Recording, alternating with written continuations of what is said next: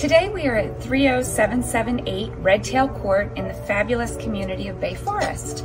This lovely home is situated on a cul-de-sac, so the privacy is fantastic.